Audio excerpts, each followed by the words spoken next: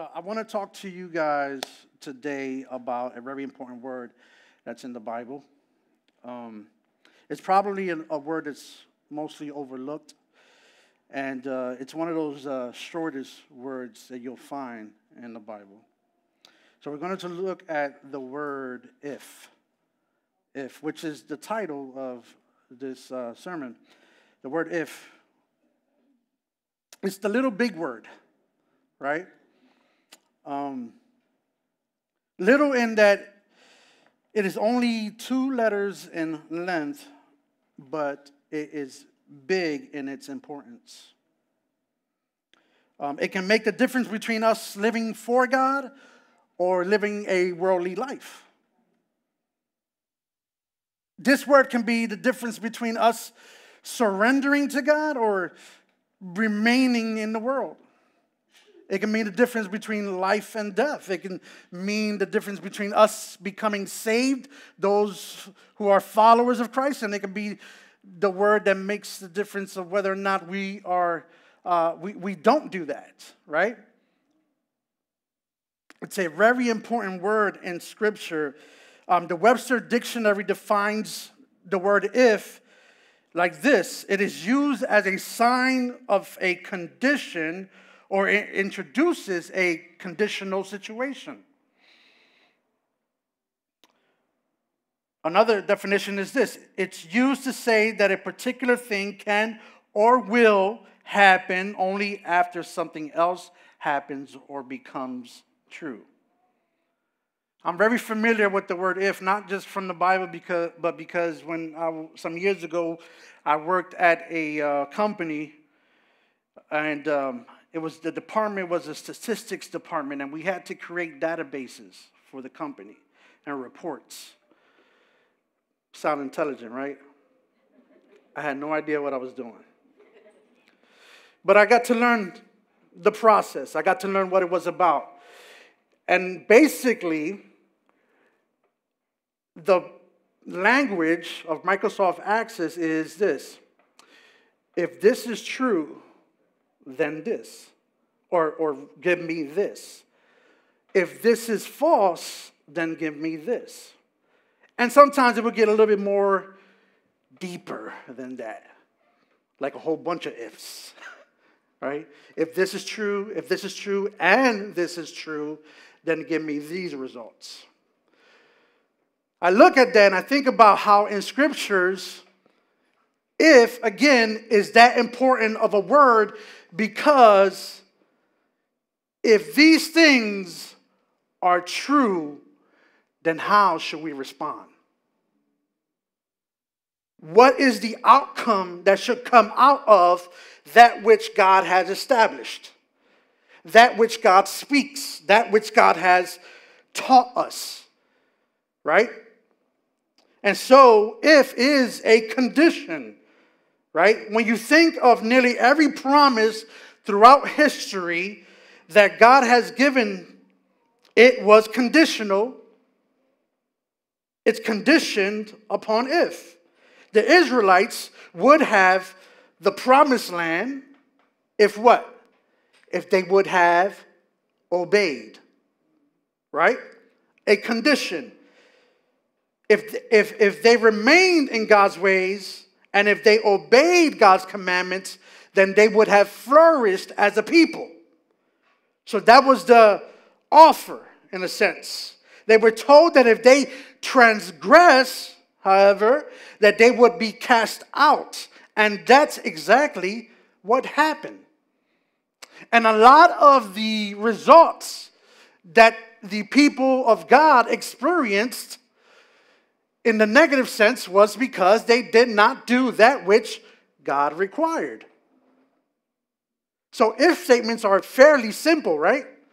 Again, if you do this, then this would happen.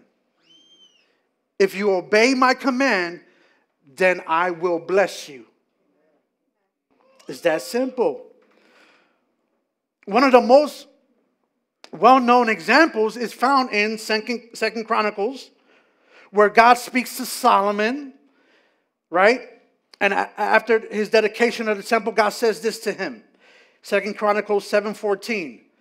If my people, if my people who are called by my name will humble themselves and pray and seek my face and turn from their wicked ways, then I will hear from heaven and I will forgive their sin and I will heal their land. Very conditional, right? The word if is the word that begins or that starts at this verse. Is God showing us what is the requirement? Right? What is it that He wants from us? So here, God's promise of forgiveness and healing is conditional upon His people's what? Humility, His, his people's prayer, right? His people seeking Him, and His people's repentance. This passage is the reminder to us that God's blessings are often tied to the actions and attitudes that we display. See, God often uses the word if to guide us towards his blessings and favor. This is, this is not like a secret code right? Like uh, oftentimes we're thinking and we're trying to figure out why is it that we're not experiencing God the way we desire to. And I'm not saying that every time that you feel like God is not present in your life, that these are the conditions that you need to be looking at, but you need to be observing if it may be this is the problem. Maybe I have not humbled myself. Maybe I have stopped seeking him in prayer. Maybe I have stopped seeking after him and his presence. And because of that, this is why I find myself in this place of not experience, experiencing the favor and the blessings of God. Amen?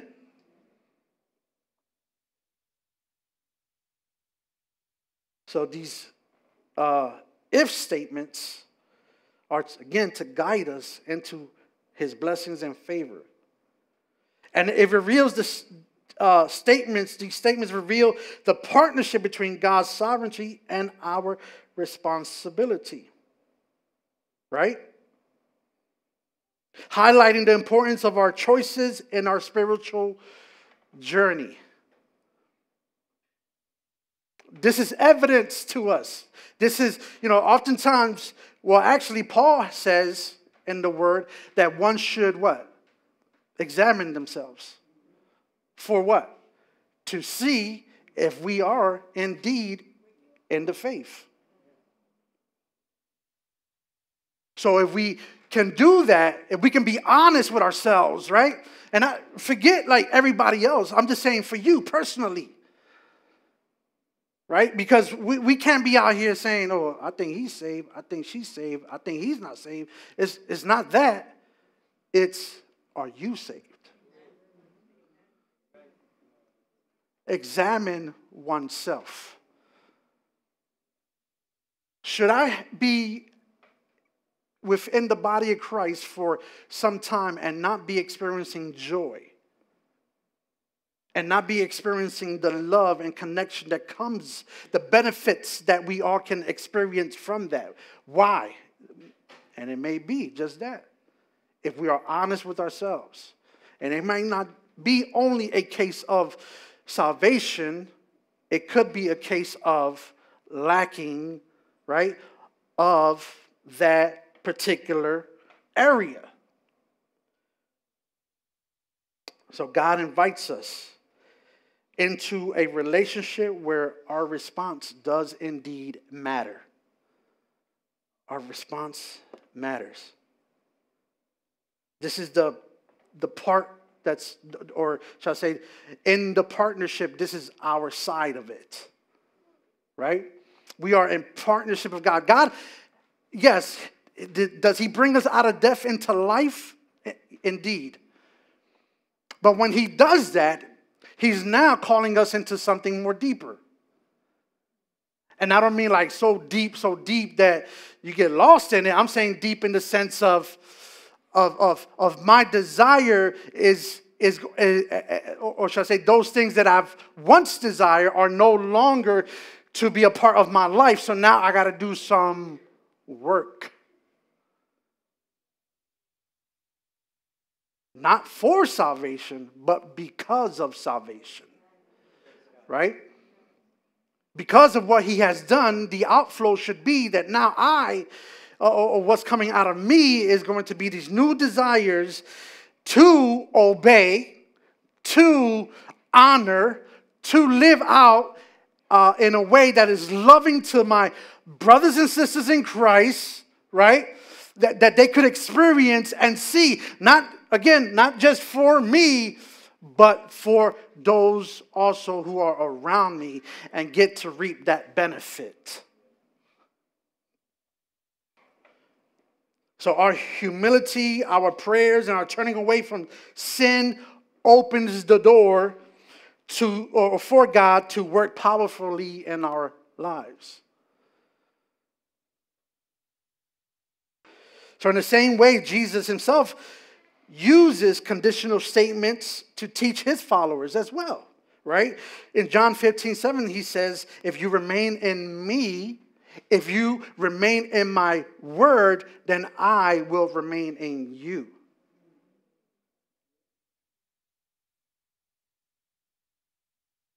Here, the promise of answered prayer is linked to our abiding in Christ and his words abiding in us, right? And so this abiding relationship is marked by an ongoing faithfulness and alignment to his will. To his will. We, we get to understand as we humble ourselves, as we pray and seek him, we get to understand what exactly the will of God is. Another hint towards why it may be that we don't know God's will is because we have not surrendered to that. Y'all, y'all hearing me? This is, in fact, conditional, right? It's conditional. Yet, these conditional statements are not meant to portray God as a transactional God. Okay? Let's get that clear. He, it's not that he's a transactional God, but to emphasize the importance of our cooperation with his divine plan. He has one for you. What is it? Find out. right? Right? If you seek his face, it would be revealed. Right? And and and and, and let me speak this just in the general. Just in the general, because a lot of times, yes, we want to know exactly the will that He has for us. And I think that from experience and from what I hear other people, is it, it, it's not so clear the personal, the personal, like your own path and the purposes that he has for you, right? Sometimes it's a little bit scary because God doesn't reveal everything to you because if he did, it will probably stump your growth. But in the general, the will of God is laid out for us through his word. I can give you a couple real quick ones. Be loving. Be forgiving show grace, show mercy. have you ever heard of the Beatitudes? Right? Blessed are those who mourn, for they will be comforted. Like these things God lays out for us, He gives us instructions already in the Bible. So when we're talking about God's will, we should know what it is exactly that He desires for us because it's laid out there. And the more and more that we get to, again, seek his face, the more we will understand what those things are. Amen? So, as we reflect on these if statements, let us remember that God's grace, wow, these things could these, uh, these uh, callings, if you will, what he's calling us to, while it may seem difficult, let us remember that God's grace empowers us to fulfill all of them. Ain't that a blessing? Like, like you, you're not left here alone on your own will. You're not left here, like, he didn't just bring you out of darkness and death into his light, into life, and say, okay, now, you know, go ahead, figure it out. Because now you're alive, you got this. And, and, and, I, and I've called you to greater, and I called you to, to live out your life in, in this particular way, and yet, you know, what am, how am I supposed Because if God had not done it in me,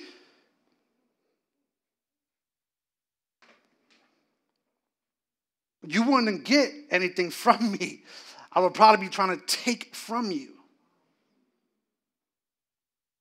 So it is God who wills in the individual to live out his precepts, to live out those things that he has called us to. Again, thank you, Jesus. Thank you, God, because it had not been for you, I would not know how to love my brothers and sisters in Christ. I would hold grudges. I would hold resentment. I would, I would have bitterness towards anyone who has offended me or done wrong towards me. Because that's, the, that's how the world taught me how to live. That's what the world called me to. Because if I live that way, I can survive in that environment. But in the environment of Christ, we operate on a different set of rules. Right? We are to think of others before we think of ourselves. No, that's not hard. that's not hard at all. It's one of the most difficult things that we're going to encounter as we live out our Christianity. To think of others before ourselves? If we really boil down to it, it gets difficult.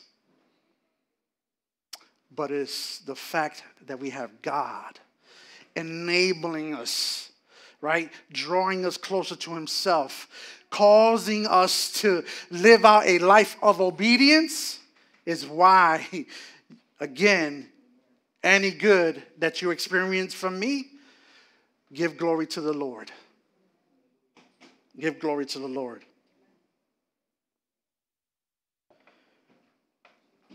Philippians 2:13 says it like this. It reminds us, for it is God who works in you to will and to act in order to fulfill his good purpose. Right? So he not only gives you a purpose, but he also enables, enables you to be able to fulfill your purpose. Ain't that dope? I'm sorry, good? Nice? Sorry? I'm from down the way, so sorry. But anyway, so we are again not left to our own devices, right? God provides the strength and guidance we need to do any of this. So I'm going to get into my points today. Um, I'm not going to take. I'm just going to. I'm going to end wherever that that clock turns red. I'm going to stop. It's five points. No, it's four points. But they're short. Little. All right? So we got time. But the first if I want to give to you today is the if of regret.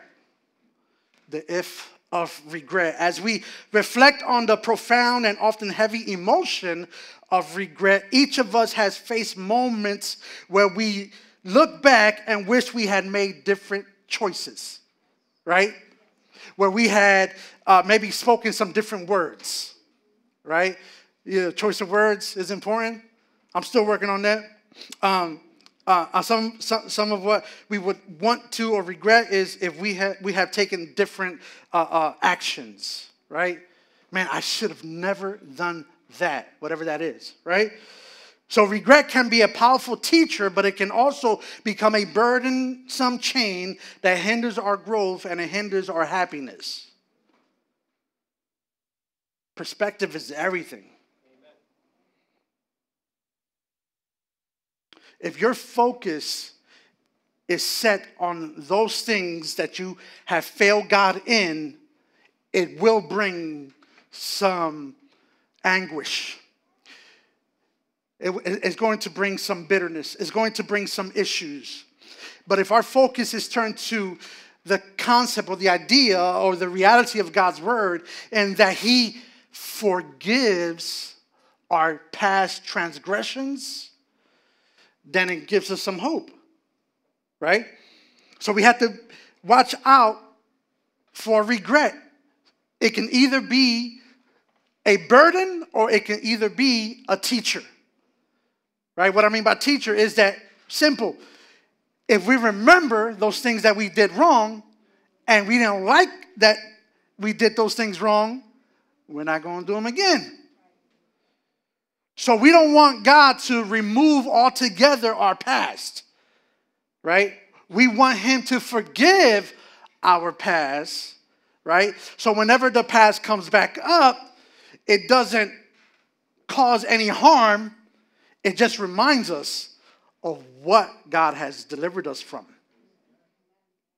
Right?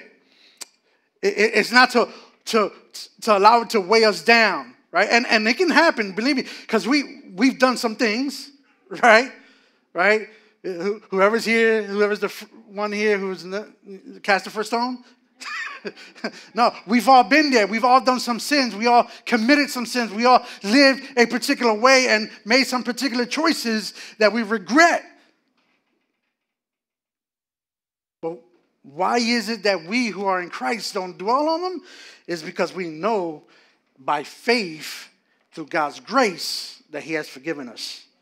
For example, if we had would uh, um, some some of the uh, uh, regrets that we have is like if we would have stayed home, he would still be alive. I don't mean to sound morbid, but I had to write that because this one hit home for me. Because that was one of the regrets I had when my brother passed. I wish I would have been able to tell him not to go or something when he left the house. It would have um, been better, whatever, right?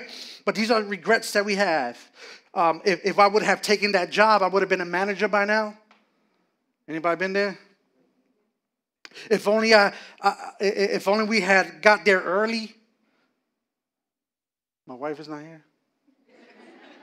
I don't, think, I don't see her. That's what I'll be telling her. No, I'm kidding. Stop that. Her parents are here. My God, my in-laws. I forgot. No, she know I'm kidding. She know I'll be playing. Let's get there early, guys Let's get there on time. All right. Um, if, if only I had paid attention.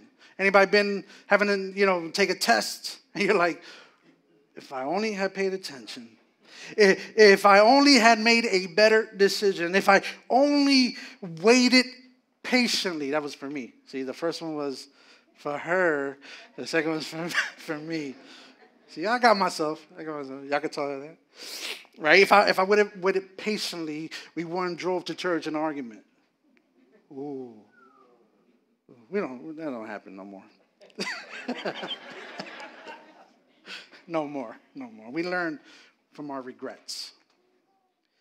And it goes on, right? There's regrets that we, we have throughout life, and we're going to experience them, and we might make some again, and we're going to you know, have these same emotions, these same feelings. But here's the thing, right? In the book of Philippians, the Apostle Paul gives us a profound insight into dealing with our past. He writes this in Philippians 3 13 and 14. He says, Brothers and sisters, I do not consider myself yet to have taken hold of it, but one thing I do, forgetting what is behind and straining towards what is ahead. I press on toward the goal to win the prize for which God has called me heavenward in Christ Jesus. Ain't that beautiful? Ain't that a good example, should I say, of how we are to deal with our past? Paul's words remind us that while we cannot change the past, we can choose how we respond to it. How we respond to it.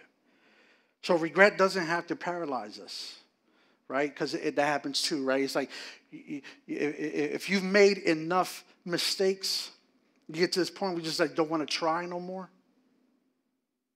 Because you feel like, you know, every time I give this a shot, I make a fool of myself. And that's not the case. I, I think that we, we have to find adequate answers and we have to find what could deal with the problem of regret or what it produces. And again, that is found in forgiveness through Christ Jesus. But instead, what it should do, it can propel us forward with renewed purpose and determination. Right?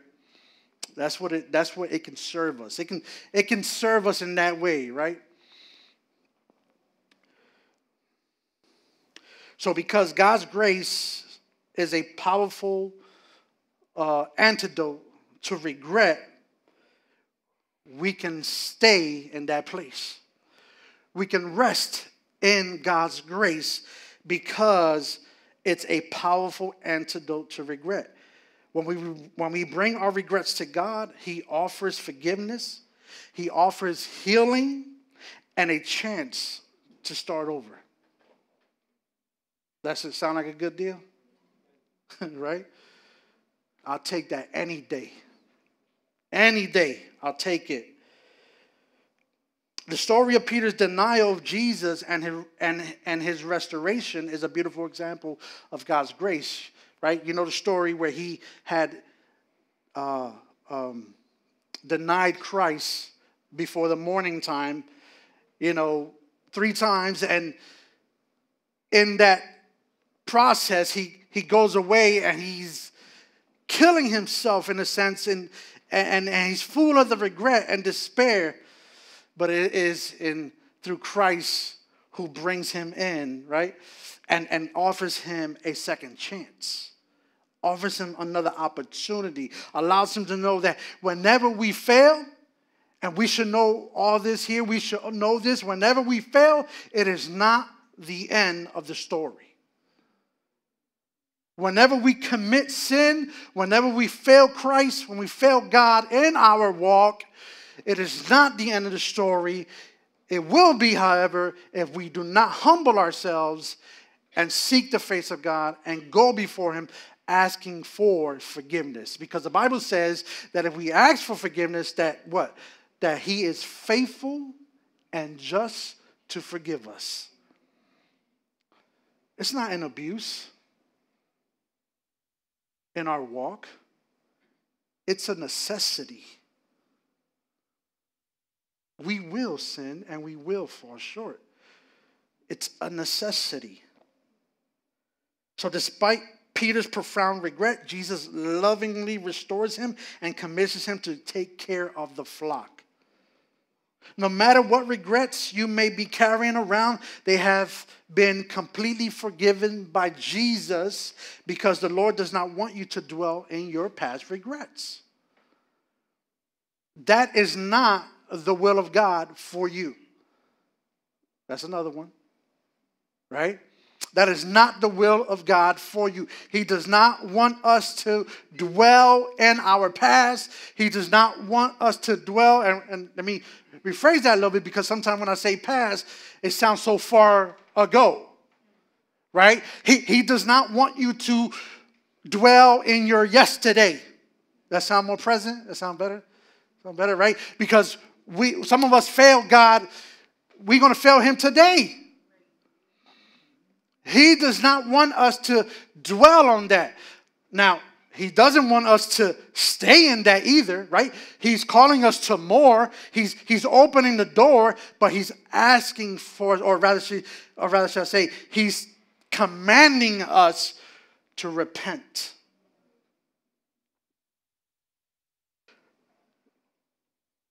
Second point, or the second if, should I say, is the if of wishing. The if of wishing. I know at times we are frustrated by our things that are in our in our lives. Maybe the house you live in, maybe the, the car you drive, maybe the, the job you have, um, maybe the spouse you have. No, no, you, you don't regret that. Stop that. Uh, you don't you don't wish you had a different spouse, right? It's easy to look at our discomfort and long for something different. If our if our focus is fixed on that which we have now and we're not pleased with it, we will not experience the joy of the Lord.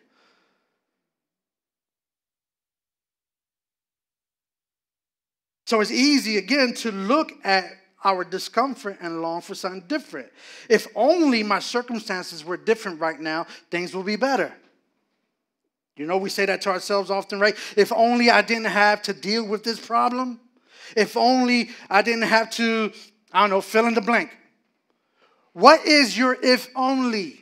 What is the thing that you are thinking that is going to fulfill the void that you have, or is going to fulfill the, the, the, the, the thing that you think is going to fulfill you in such a way that is going to make life grand? What is it? If, because if it's not Christ, it's always going to fall short, right? If it's not God, it's always going to fall short because none of those things will completely and utterly fulfill the need that you have. Would it bring some happiness? Yeah, because guess what? I would like a little bit more money in my pocket.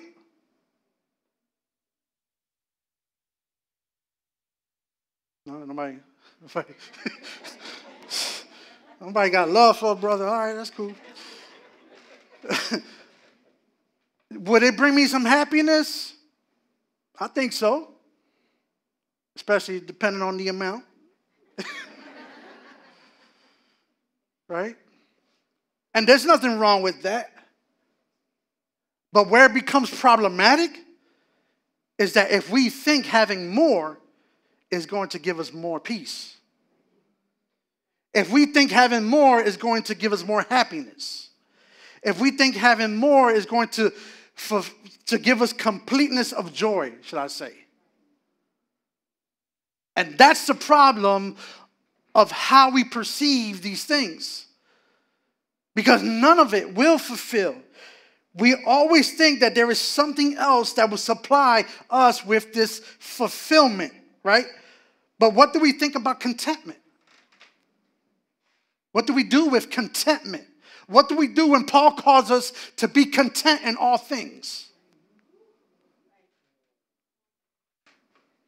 This is God's word and this is God's will to be content. And this is coming from a man that when he said it, he was locked up deep down in a prison cell, chained up. Like this, saying, I count it all joy. I count it all joy.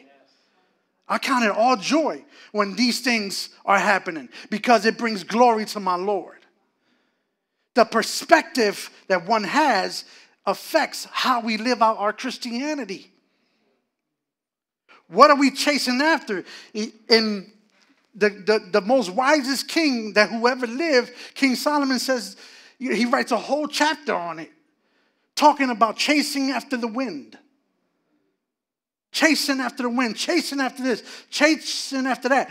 And it's like you're trying to grasp wind, and wind is fleeting. It's impossible in, other, in a sense. That's what he's getting at. Right? So, no matter what you put before God, whatever it is, whatever it looks like, whatever it seems, whatever experience, whatever place, environment you want to be at, because you can change everything and start over and you will always find yourself in the same place, wanting. Wanting. Wanting more of everything that doesn't fulfill. That's that's that's that's that's insane. Right? What is it within us that desires these things? It's because we have not surrendered to see that all fulfillment is found in Christ Jesus, our Lord. A virtue that is profoundly addressed in the scriptures, right? In our fast paced and often materialistic world, the quest for more, more wealth, more success, more possessions can leave us feeling restless and unsatisfied. And I'm telling you, I'm, I'm saying that I'm not against those things. I'm saying that those things can never replace the position or the place that belongs to my God. Because the Bible offers us a different path, one that leads us to true peace and true fulfillment.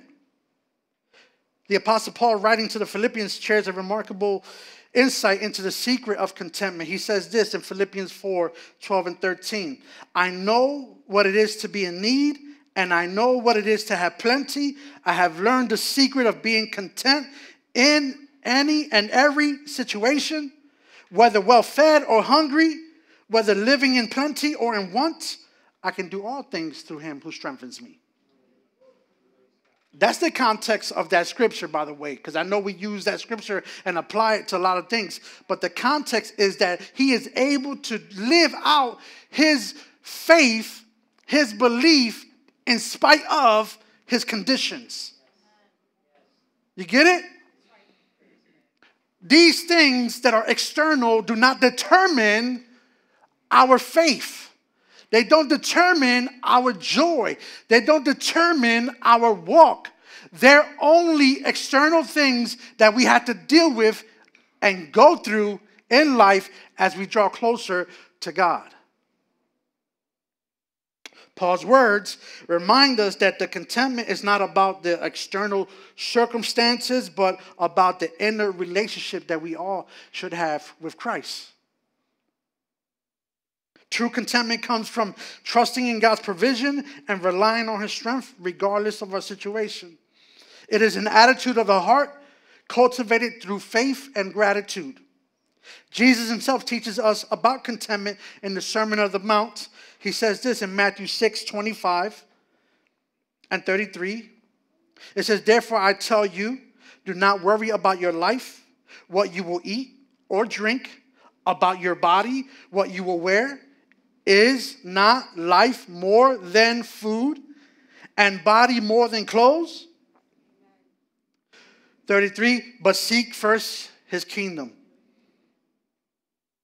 If you seek first his kingdom and his righteousness, and all these things will be given to you as well. Right? What comes first?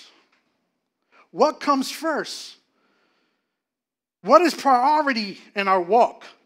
What are the things that we should desire? Our focus, and, and it's it, look, it's hard to focus on multiple things. Ask runners. When they see the goal, that's their focus. Any athlete, that's their focus, the goal.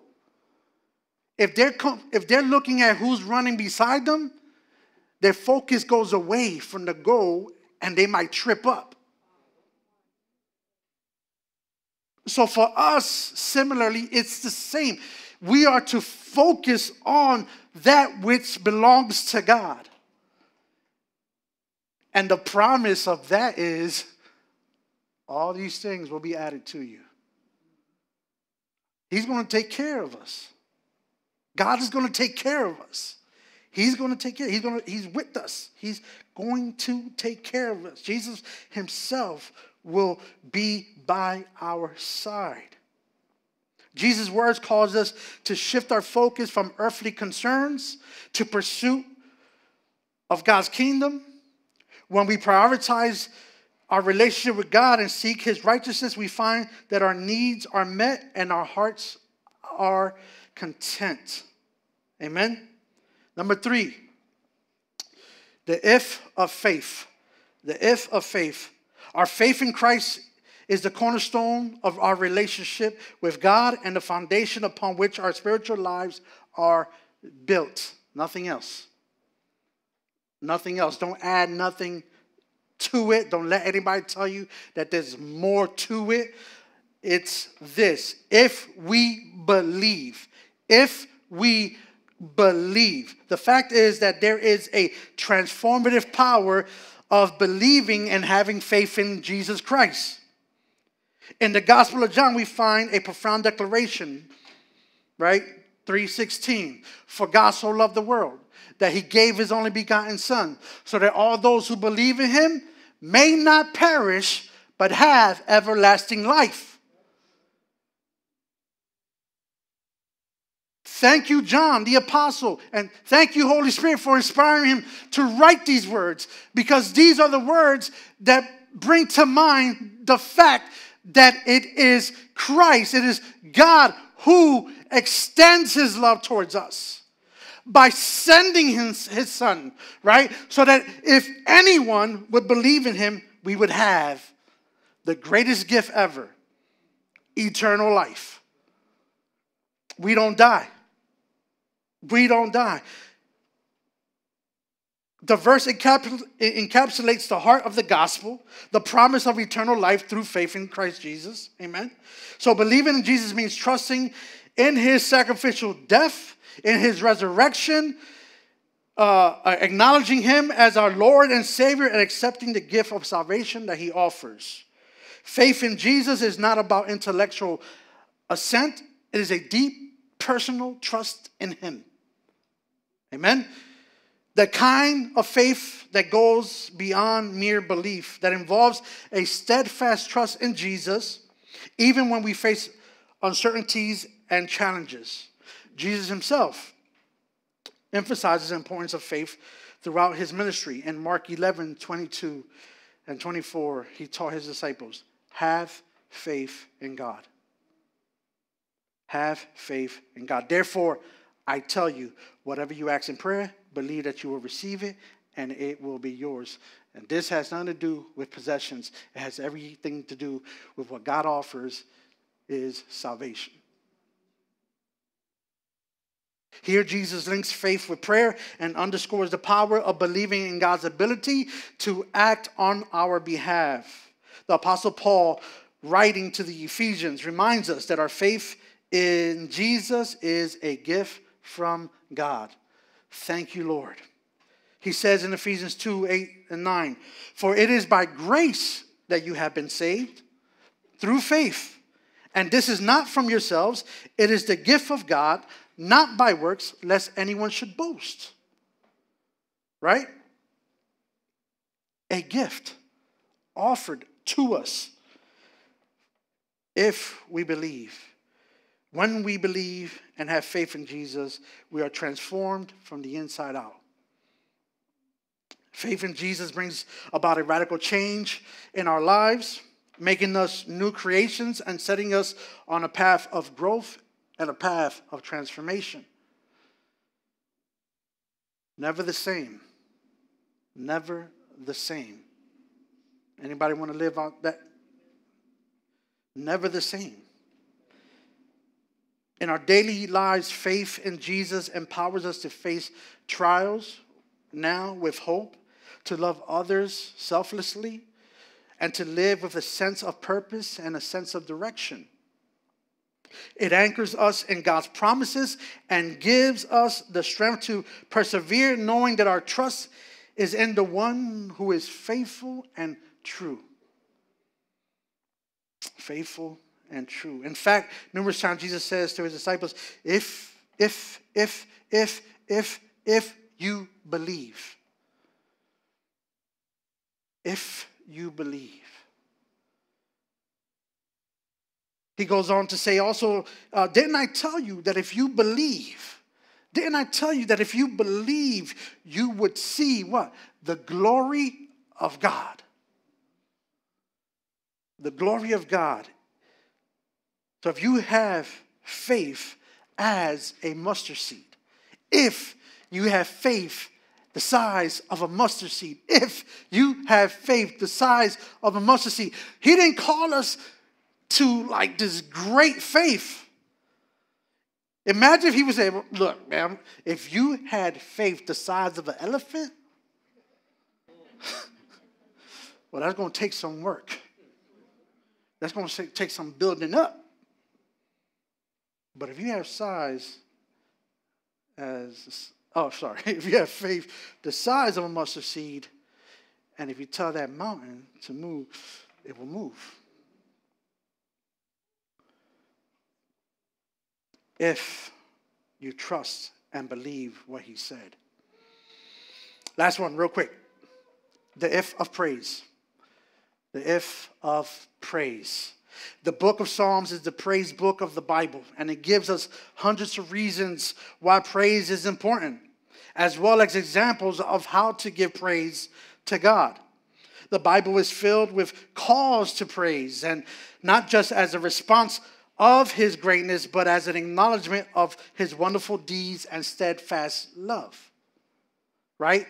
Because we can praise God for everything that he does and, he, and, and the blessings that he showers us with, but we have to praise God in spite of that.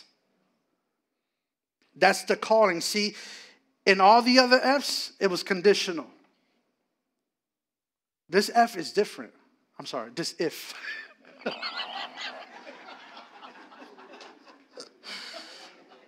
this if is different.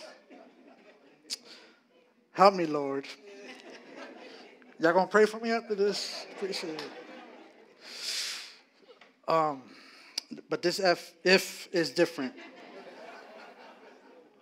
It's different because here God is not showing us condition. When it comes to praise, God is not showing us condition, He is showing us response. How are we to respond to Him? If we believe, if we walk, if we live in everything that He's calling us to, the response will be praise. Lifting His name up high because His name should be lifted up high. When we think about the Lord, it should cause us to praise, right? When I think about the Lord, right? Come on. How he, how he, how he me around, how he placed my feet on solid ground. Come on, it makes me wanna. Come on. Jesus. Yes. All right. Let's. we'll leave it to the experts. The leading, but the praise is yours. Get, give it to God. Give it to God. He deserves it, right? We are to bring uh, uh, uh, to God that which He deserves as a response for all that He has done on our behalf. We are to bring to mind, bring to account all the good that the Lord has done. And this, this is the thing, right? This is the work that we do in, in this place is that we are to think of the things that God has done. Right? Our Christianity should, should have this at the forefront because if, if not, we forget his goodness, we forget his loving kindness, we forget all his benefits and everything that he has blessed us with. Not just forget, but we take for granted. We take for granted that He wakes us up in the morning and gives us air, a new breath, and new mercies. Right? Come on, God is so good that He blesses us in such a way we should bring to mind these things. In Psalms 103, 1, uh, 1 through 5, David beautifully captures this sentiment. He says this Praise the Lord, my soul all my inmost being, praise his holy name. Praise the Lord, my soul, and forget not all his benefits. who forgives all your sins and heals all your diseases, who redeems your life from the pit and crowns you with the love and, com- and with love and compassion, who satisfies your desires with good things so that your youth is renewed like the eagles. This is it right here right? David's words remind us to praise God by recalling his many blessings. God's forgive, give, God forgives our sins, heals our diseases, redeems our lives, and crowns us with love and compassion. How good is God? How good is God? He is so good. He satisfies our desires with good things and He renews our strengths. These are not abstract concepts, but real, tangible ways in which God interacts with and blesses our lives. Similarly, in Psalms 152, we are urged this praise him for his acts of power. Praise him for his, his, sorry his surpassing greatness. Praise him. Praise him all ye people. Praise him. If you do not praise him, the rocks will cry out. All of creation cries out because all give glory to him. We don't, we don't just like when you see all that is created in this world, it brings glory to God, right? It brings praise to God.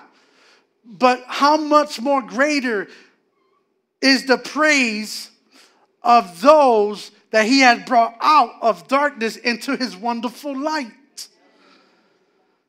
So we must not remain shut, right? We, have, we, we must not remain quiet about how good our God is. Here, the psalmist calls us to praise God not only for his mighty acts, but also his inherent greatness. Key thing here again, is not just about what he does, it's about who he is. It's about who he is. He is great, he is mighty, he is Lord. When we take time to reflect on what God has done, both in the grand narrative, narrative of salvation and in our personal lives, we are moved to response in a heartfelt praise, right? We were earlier when we were singing and you heard those words, right? Praise him, praise him, praise him. It moves us to, to, re, to recall and remember the things that God has done on our behalf, in which he is still doing to this day, right?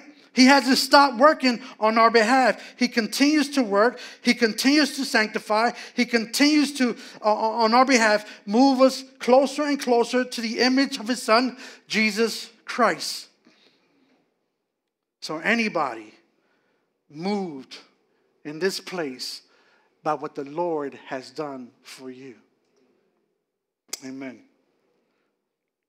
Let us close our eyes and bow our heads.